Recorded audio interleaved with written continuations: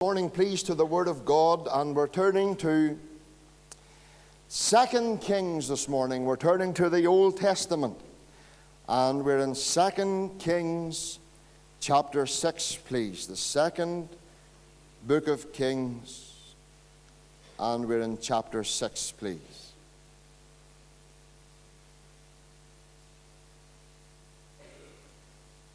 Second Kings chapter 6 down at verse 8, we read Then the king of Syria warred against Israel and took counsel with his servants, saying, In such and such a place shall be my camp. And the man of God sent unto the king of Israel, saying, Beware that thou pass not such a place, for thither the Syrians are come down. And the king of Israel sent to the place which the man of God told him and warned him of and saved himself there not once nor twice. Therefore, the heart of the king of Syria was sore troubled for this thing. And he called his servants and said unto them, Will ye not show me which of us is for the king of Israel? And one of his servants said, None, my lord, O king, but, but Elisha, the prophet that is in Israel telleth the king of Israel the words that thou speakest in thy bedchamber. And he said, Go and spy where he is, that I may send and fetch him. And it was told him, saying, Behold, he is in Dothan. Therefore sent he thither horses and chariots, and a great host, and they came by night and compassed the city about. And when the servant of the man of God was risen early and gone forth, behold, an host compassed this city, both with horses and chariots. And the servant said unto him, Alas, my master, how shall we do? And he answered, Fear not. For they that be with us are more than they that be with them. And Elisha prayed and said, Lord, I pray thee, open his eyes that he may see. And the Lord opened the eyes of the young man, and he saw, and behold, the mountain was full of horses and chariots of fire round about Elisha. And when they came down to him, Elisha prayed unto the Lord and said, Smite this people, I pray thee, with blindness. And he smote them with blindness according to the word of Elisha. And we know that the Lord will add his blessing to the reading of his own precious truth. You know, it wasn't long after I trusted Christ, it wasn't long after I became a Christian that I came to realize I faced a new enemy. That I faced a strange enemy. The reason why I'm saying a strange enemy it was an enemy I never faced before. Not only did I come to realize that I faced a strange enemy, but I come to realize that I faced a subtle enemy. Subtle and crafty and cute. But I'll tell you this I come to realize he wasn't just a strange enemy. And he wasn't just a subtle enemy. I came to realize he was and still is a strong enemy. And you know, child of God, I come to realize very soon that in the Christian life there are many battles. In the Christian life, there are many tough times, and mind you, I have had them and still do. And many times, I too have had grueling struggles that has stretched the nerve of faith almost to breaking point. The man that stands in a pulpit and says that Christians don't have trouble, they're not telling the truth. Or if a man stands up and he preaches the gospel and says, Well, if you come to Christ, you'll never have problems, he's a liar. Because God's people, His own redeemed people, can face great, overwhelming situations and circumstances. And I'm telling you, they would stretch the nerve of faith.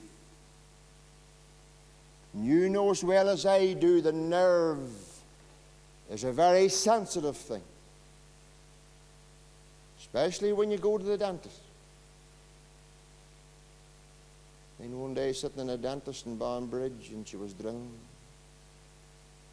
I don't know what she hit, but she near sent me into what I thought was the third heaven. But the nerve is a very sensible thing, and every one of us this morning has a spiritual nerve. That can and becomes easily affected. But you know, child of God, what I have learned some of them old hymns that are in the hymn book, they've got great words, you know. They were almost inspired, if not inspired, to be written. And they're great hymns that soothes the nerve in the times of trouble. One of my favorite hymns is What a friend we have in Jesus. All our sins and griefs to bear, what a privilege it is to carry. Everything to God in prayer. How sweet the name of Jesus sounds in a believer's ear. It soothes the sorrows, heals the wounds, and drives away the fear. Do you know the enemy this morning always seeks to attack that nerve? And as the physical nerve sends messages to the brain, so the spiritual nerve this morning sends messages to the heart and to the mind and to the life. And it's the spiritual nerve this morning that controls our thinking, controls our living, and controls our action. The enemy's real. And oftentimes, child of God, he comes and drives us perhaps to what seems to be breaking point. And he knows how to do it. You see, this wee message that the Lord has given to me this morning there's a wee lesson in it, and the wee lesson is this this morning learning to hold your nerve in difficult times. Field Marshal Montgomery said many young men during the war, their life ended, was ended by an enemy bullet or an enemy shell. But what he says killed many of those young men in battle was they, they failed to hold their nerve. Child of God, this morning, I wonder is there someone here and the road's very rough for you at the moment? You're climbing what seems to be a hill or a mountain that seems too steep to go any further. And I wonder this morning is there somebody and you're overwhelmed by something? Well, I want to tell you, God has a wonderful message for you. And the title that I've placed upon this message is When Saints Are Surrounded. We can hold our nerve. And I want you to notice, first of all, in the passage of Holy Scripture that we have read, I want you to notice something about the Syrian king. He was, he was the enemy to the man of God. And the Syrian king was no dozer. And I want you to notice, first of all, the plan that was put in place, verse 13 and 14. And he said, Go spy where he is, that I may send and fetch him. And it was told him, saying, Behold, he was, or he is in Dothan. Dothan. Verse 14 Therefore sent he thither horses and chariots and a great host, and they came by night and compassed the city about. Do you know what God wants us to see in those two verses? Something that I believe we often forget. The enemy is always planning against us. And, child of God, this morning, life for you may be good, life for you may be well, life for you at this present time this morning mightn't be, couldn't be better perhaps. But you mark this this morning. The enemy is planning right now in order how to attack your faith. Right now, the enemy is planning in order as to how he may attack your testimony.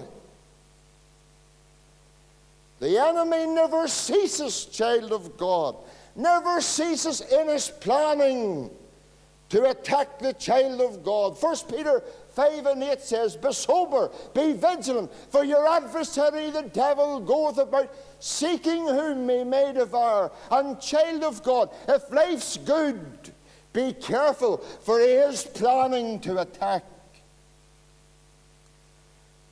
Notice the setting of the plan.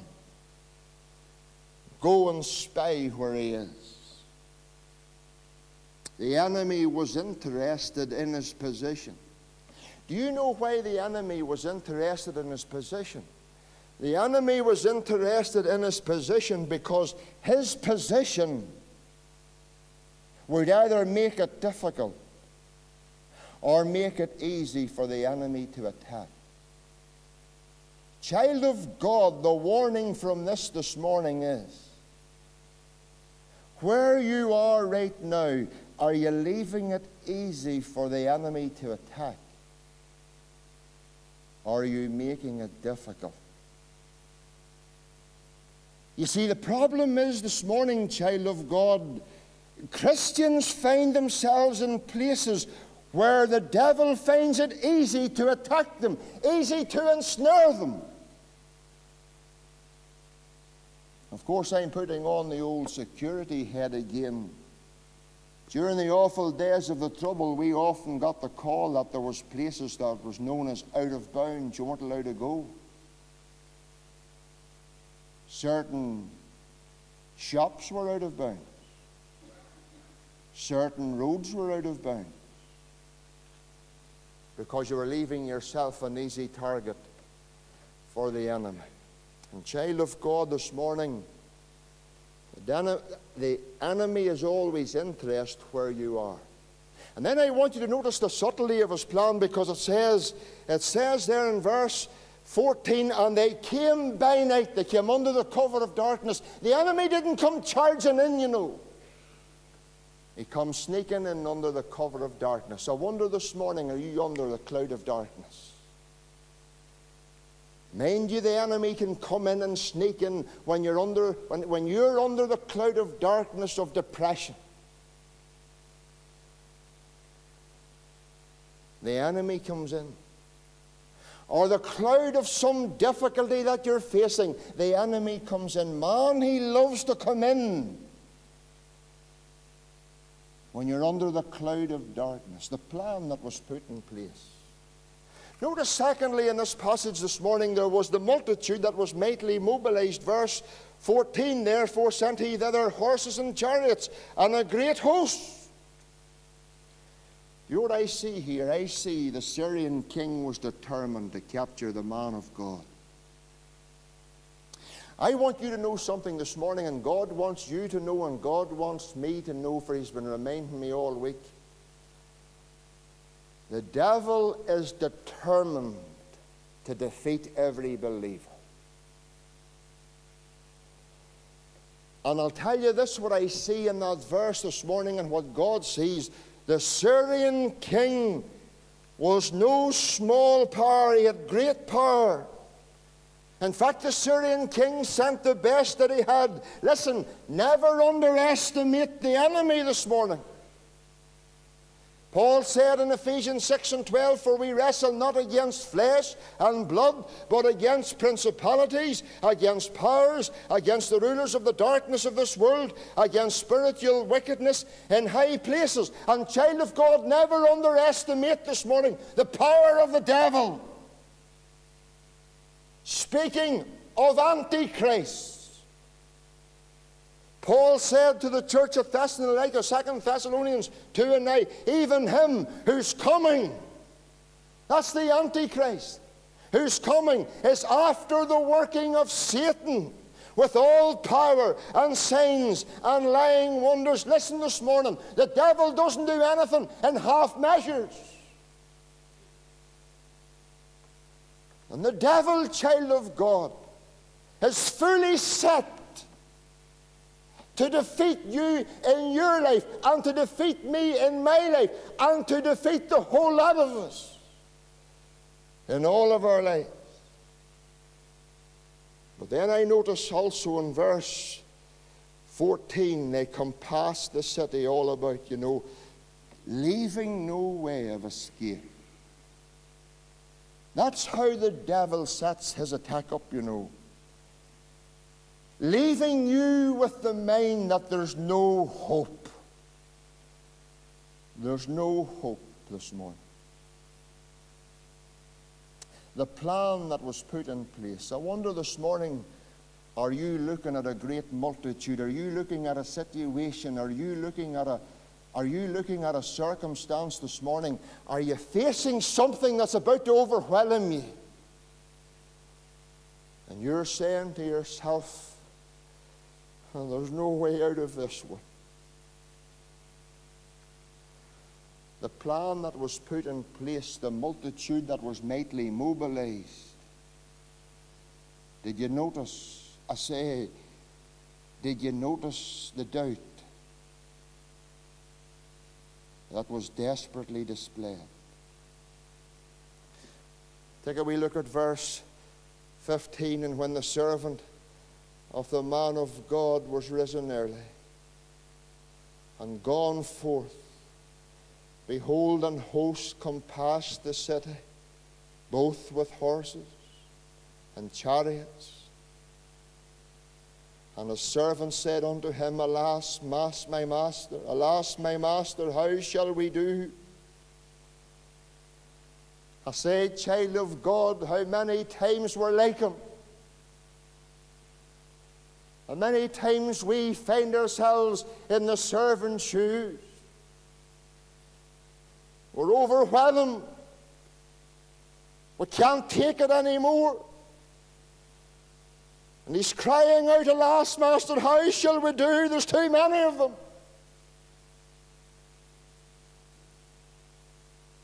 You know, this morning, child of God, as the servant goes out, I'm telling you, he's lost his nerve now. Many times I wonder is there a brother here this morning? Nobody knows about this, nor I don't know, but God knows and you know, and you've lost your nerve this morning. You're facing something, some situation, some circumstance has come against you and has compassed you this morning. And that's all you can see. And you're like the servant of God this morning. It seems hopeless. There's nowhere to run. We're defeated. There's no way out. And this morning, you're desperate, sister. You're desperate, brother. All you can see is the multitude.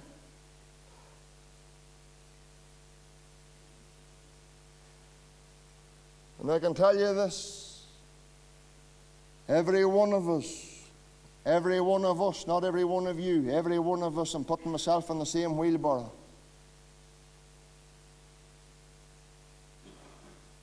Between, the, between us and these four walls, the whole lot of us can find ourselves there. As Paul says, let him that thinketh he standeth take heed, lest he fall. I'm telling you, child of God, and you look around you and you see whatever you're facing and you see this thing has come against you, the enemy says you're finished.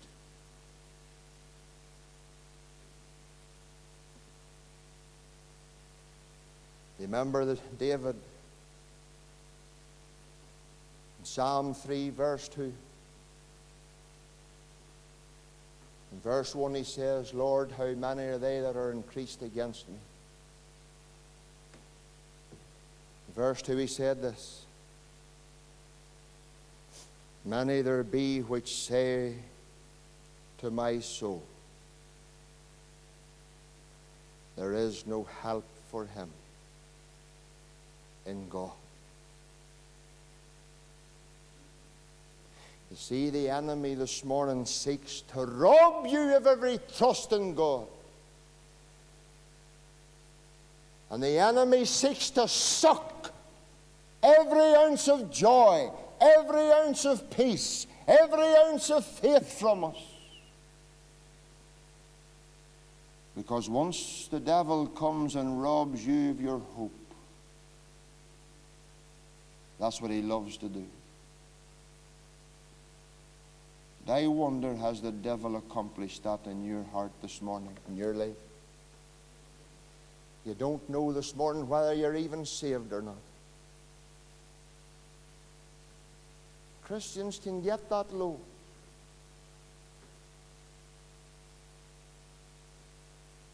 And there's times I've been there. Says, there's many a time I wonder, should I even be a pastor anyway?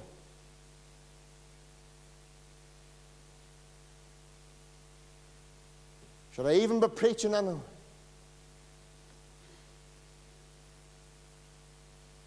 And I can tell you the devil knows the hit words hurts. I'll tell you the enemy is no dozer. There's a lovely picture. There's a lovely picture in verse 16. I'm going to call this the faith that was firmly fixed. Verse 16. And he answered, Fear not. Boys, I love I love it when people comes to you in a tight corner and says, listen, fear not. And it says this here, now look what it says. They that be with us are more than that they be with them. You know, there was faith that was firmly fixed. There was something faith could see. You see, here's the problem. The eyes of faith can see what the eyes of flesh cannot see. And Elisha, the man of God, knew. And you know, child of God, Elisha could see the invisible. The servant could only see the visible. And sometimes I think that's what was wrong with a whole lot of us. We can only see the visible. It's not all you can see this morning. Here's what God wants you to learn. This is what He taught me this week. No matter how dark the situation, the lesson God wants us to learn in that situation is this. Here it is. Learn to sense and to see the hand of God in it. No matter how hopeless it may seem to be, no matter how difficult it may seem to be, no matter, child of God, when no hope can be seen. This is what God wants you and I to learn in such time. Learn to sense and see the hand of God in it.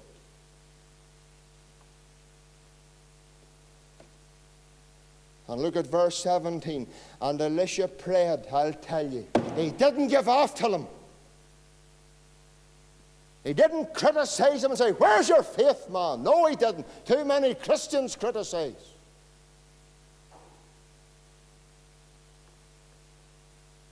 I think it would be better praying for a person who's down rather than kick them when they're down. Learn to pray for those that are in difficult times, not to talk about them or criticize them either, for we're not much of a Christian if we do.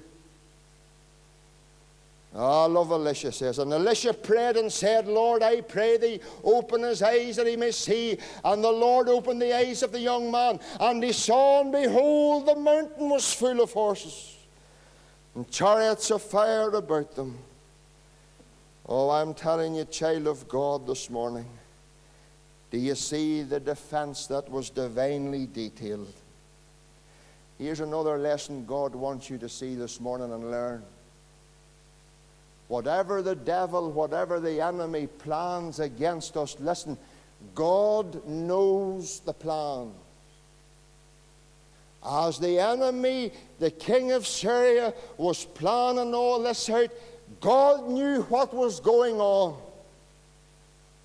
And you want to know something?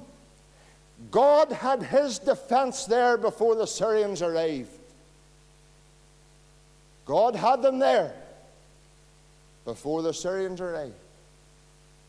And, child of God, when the enemy becomes, comes to you and he comes to me in whatever shape or form, I can tell you God has his defense in place before it arrives. God has his defense here before it was arrived.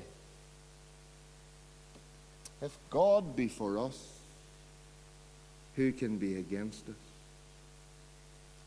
Nay, we are, we are more than conquerors through him that loved us. Do you know, I often wondered what scriptures was Elisha leaning on? We always talk and quote that wee verse, don't we? Faith cometh by hearing, and hearing by the word of God. That's not only for salvation, you know. Faith comes when we know the word of God. And I wondered this morning did he, did he think of Psalm 27 and 3? Though an host should encamp against me, my heart shall not fear. Though war should rise up against me, in this will I be confident. Maybe he thought of Deuteronomy 23 and 4. Let not your hearts faint, no, fear not, and do not tremble, neither be ye terrified because of them. For the Lord your God is he that goeth with you to fight for you against your enemies, even to save you. Listen, child of God, do you know what I need to do? And perhaps you need to do it too. We need to start feeding our faith on the Word of God. It's one thing opening the Word of God for ourselves, but we need to start opening ourselves for the Word of God.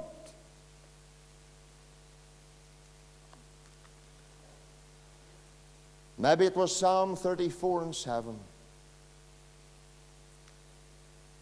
Maybe that was it. Maybe that was the word that gave Elisha peace and faith, not the word. Maybe it's, maybe it's the word you need this morning. Remind you many a time I leaned on it. Psalm 34 and 7. The angel of the Lord encampeth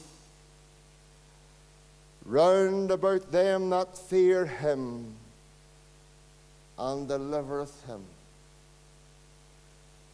Many years ago, there was a mission, missionary called John Paton. He was a missionary to the New Hebrides Islands. I don't know whether he was any relation to yours, Joan, or not. I don't know. He was John Paton was his name. And there was just him and the wife, him and the wife, two of them in the, in the missionary station. When suddenly a tribe came to burn them out and to kill them. The Patons were surrounded. And every one of them had torches in their hand.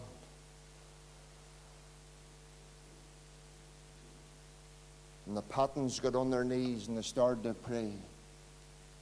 waiting for every moment for the enemy to strike. And they stayed on their knees all night.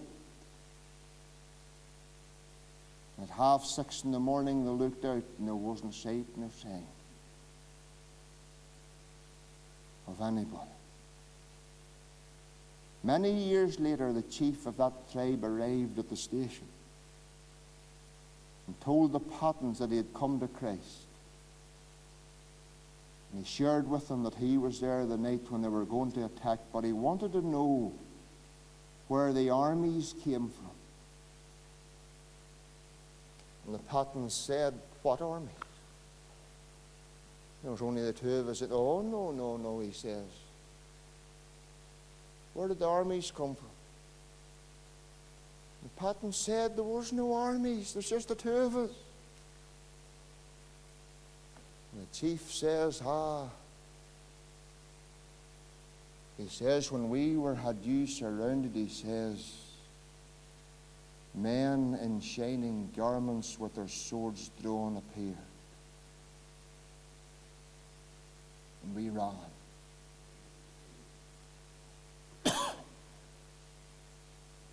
Many months after that, the chief met another missionary, this time to inquire.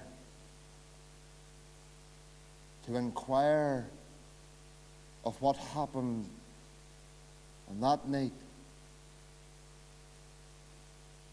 And from this very chapter that God is speaking to us this morning, that missionary was able to explain to that chief that God has a greater army to defend his people than the armies of the world.